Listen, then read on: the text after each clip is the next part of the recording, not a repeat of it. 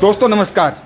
दोस्तों, इस वक्त की तस्वीरें मैं आपको दिखा रहा हूँ बाड़मेर शहर की मुख्य पालिका बाज़ार की, जहाँ पर पर डे लाखों करोड़ों रुपए की आमदनी भी होती है। सैकड़ों दुकानें हैं पालिका बाज़ार में, लेकिन दुकानदार जो हैं, इस सारे कचरे को इकट्ठा कर इन दुकानों के बीचों बीच इस कदर जलाते हैं, मानो इन्हें कोई परवाह ही नहीं।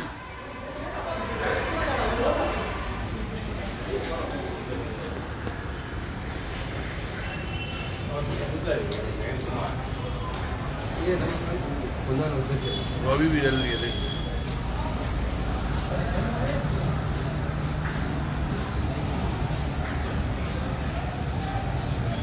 जबकि ये आग अगर बड़ा रूप लेती है तो कई दुकानों को नुकसान हो सकता है। यहाँ पर जितनी भी दुकानें हैं, सारी दुकानें, दुकानों में लाखों करोड़ों रुपए का जो है वो सामान भरा हुआ रहता है। महँगे महँगे मोबाइल जो है, मोबाइल स्टेशनरी है, वो सामान जो है वो भरा रहता है।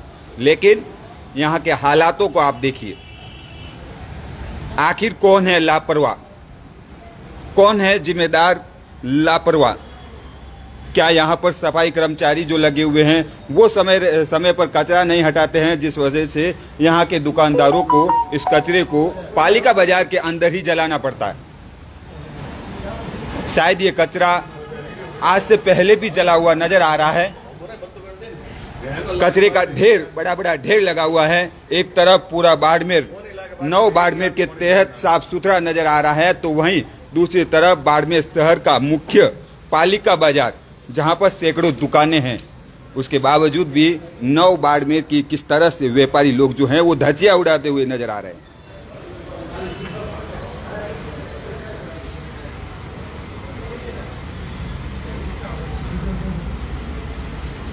यह है बाड़मेर का नौ बाड़मेर, नया बाड़मेर साफ़ सुथरा बाड़मेर। सबसे पहली तस्वीर यहीं से शुरू होती है। बाड़मेर का मुख्य रेलवे स्टेशन। स्टेशन रोड के अंदर जाते ही पहला बाज़ार जो है पाली का बाज़ार है, जो कि मोबाइल और मोबाइल स्टेशनरी का मुख्य बाज़ार भी है। लेकिन न तो यहाँ पर रहने वाले व्यापारियों को किसी चीज़ की कोई परवाह है, न ही कोई अधिकारियों को, न ही नगर परिषद के कर्मचारियों को।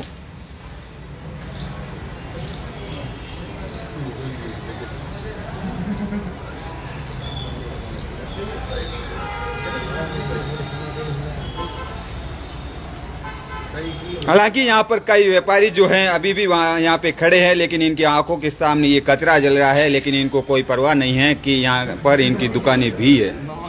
ये देखिए।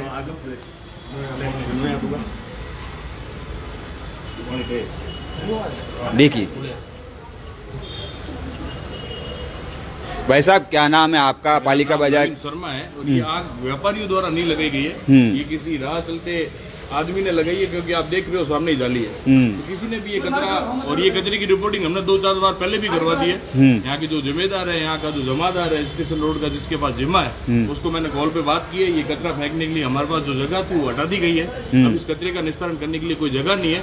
तो कृपया करके हमें ये कचरा फेंकने की उचित जगह दिखाई जाए जहाँ भी हम कचरा फेंके। उन्होंने बोला था कि कचरा पॉइंट पे फेंको। तो कचरा पॉइंट पे फेंकने के लिए एक टेंपो रोज चाहिए जो यहाँ पे हमारे पास उसका प्रबंधन है नहीं। तो कचरा हमारे सफ़ाई कर्मचारी ने तीन चार दिन से यहाँ इकट्ठा किया, चार पाँच बार हमने कॉल करके बोल दिया, कमल जी उनको बोल दिया, और यहाँ का जो जमादार है उसको बोल दिया।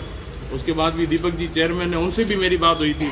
उन्होंने भी बोला कि मैं अवगत करवाता हूँ लेकिन अभी तक तो कोई कार्रवाई हुई कोई सुनने वाला नहीं है क्योंकि बड़ा सबसे बड़ा जो यहाँ का अधिकारी कलेक्टर है वो भी सड़कों पे है साफ़ सफ़ाई रखने के लिए शहर में। बहुत लेकिन पहल की है लेकिन हम भी उसमें भागीदारी अपनी निभाना चाह रहे हैं। कहाँ से निभा रहे हो? ये निभाए कहाँ? तो ये कचरा कहाँ निस्तारण करे बताइए आप। हम्म। इसकी जगह भी तो होनी चाहिए ना। अब रोज तो हम टेंपो भर के ले जा नहीं सकते। हम्म, हाँ, यहाँ पे जो गाड़ी आती है जो ट्रैक्टर आता है उसे हमने बोला ये कचरा हमारे को फेंकने दो उसने मना कर दिया हम नहीं फेंकने देंगे। हम्म, कहाँ डाले इस कचरे को आप ही बताओ। आपने वापस किसी को लिखित में शिकायत दी है? लिखित में शिकायत करने के लिए यहाँ पे कोई कमेटी है नहीं पहले थी हम्म। अभी कोई कमेटी बनी हुई नहीं है। तो यहाँ के व्यापारियों को डर नहीं रहता? कहीं आग बड़ी लग गई तो कहीं नुकसान भी हो सकता है। जो जागरूक है उन्होंने बात भी की अधिकारियों से कि साहब इस कचरे का कोई ना कोई निस्तारण करवाओ। वो निस्तारण अभी तक हुआ नहीं। और मैंने पहले ही चेताया था कि ये कभी ना कभी आग लगेगी और आज आग लग गई। हम्म। वाकई इन व्यापारियों का कहना है कि हमने तो कई बार लिखित में भी शिकायत दी है और जो नगर परिषद के कर्मचारी अधिकारी हैं उनसे भी हम कई बार मिले हैं लेकिन उनकी भी कहीं न कहीं लापरवाही जो है वो स्पष्ट तौर पर सामने आ रही है। इसकी जो इसकी जो ज़िम्मेदारी है साफ़ सफ़ाई की रख रखाव की वो नगर परिषद की बनती है। क्योंकि हम्म। आपको पता होगा ये सारी दुकानें लीज पे है निन्यानवे साल की। यहाँ पे हम मालिक नहीं है हम लीज पे है। और ये जो सफ़ाई है वो पिछले पंद्रह साल से हम हमारे स्तर पे करवा रहे हैं। हर हम्म। दुकान से पाँच सौ रुपए देते हैं हमारा सफ़ाई कर्मी हमारे ये कचरा इकट्ठा करके बाहर फेंक देता था। पहले आपको पता हो इस गेट के बाहर दो डिब्बे रहते थे। वो डिब्बे टूटे हुए थे इसलिए मैडम ने वो हटवा दिए। हम्म। उसकी जगह पे तो कोई डिब्बे लगे नहीं है। सात दिन से ये कचरा यहाँ पे इकट्ठा है और आज आग आग लग गई इसमें।